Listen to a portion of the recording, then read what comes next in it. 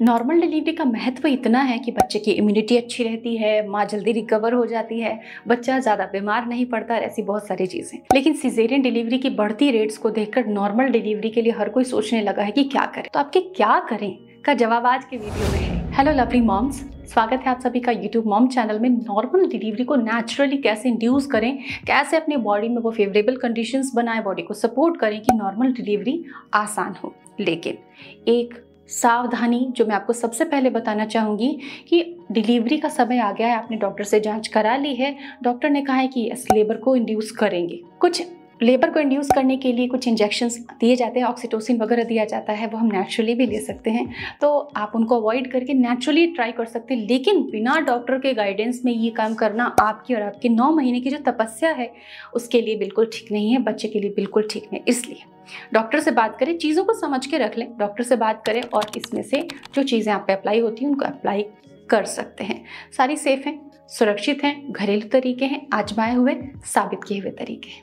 तो सबसे पहले क्या करना चाहिए आपको? अगर आपको लेबर पेन आ रहा है, लेकिन लॉन्ग लंबा ड्यूरेशन आ रहा, हो रहा है लेबर का, जल्दी से आप डिलीवरी के स्टेज में नहीं जा पा रही हैं तो पैदल चलें वॉक करें। कुछ एक्सरसाइज कर सकते हैं आप, जो आपके डॉक्टर सजेस्ट करेंगे। लेकिन वॉक करना, एक तो आपका पेन जो फील हो रहा है आपको उसको कम कर देगा। दूसरा लेबर को भी इंड्यूस करेगा। तो टहलें, थोड़ा फिजिकली एक्टिव रहें, घर का काम कीजिए, झाड़ू पोछा लगाइए, जितना आप कर पा रही हैं, उतना करने की कोशिश कीजिए। You have to be bold and brave this time second trick nipple stimulation nipple stimulation से क्या होता है? निपल का सर्वेक्स से बच्चेदानी के मुँह खोलने से क्या रिलेशन है? निपल का जब स्टिमुलेशन होता है, जब निपल को इस तरीके से स्टिमुलेट किया जाता है तो ऑक्सीटोसिन रिलीज़ होता है और ये ऑक्सीटोसिन सर्विक्स को डायलेट करने में हेल्प करता है। सो निपल स्टिमुलेशन भी किया जा सकता है। इससे यूट्रस में कॉन्ट्रैक्शंस बढ़ते हैं, जो आपको डिलीवरी तक लेके जाते हैं। कई बार आपके डॉक्टर या डाइटिशियन बताते हैं कि आप पपाया या पाइनएप्पल खा लीजिए, क्योंकि ये सर्विक्स को स्मूथ करने में हेल्प करता है।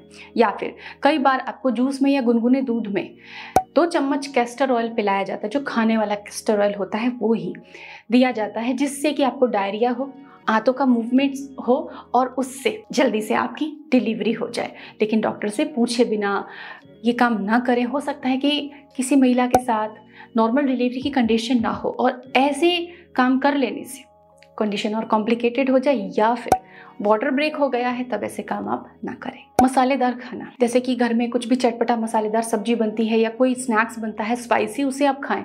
मिर्च, ये जो मिर्च है, ये कुछ मैजिक कर सकती है, क्योंकि मिर्च में पाया जाता है कैप्सीसियम और ये कम से कम दर्द से आपको राहत दिलाता है, इसलिए कुछ स्पाइसी फ़ूड खाना आपको थोड़ा सा सपोर्ट करेगा, दर्द कम करेगा और आपको सहने की शक्ति भी देगा। मुलैठी, थोड़ी सी मुलैठी।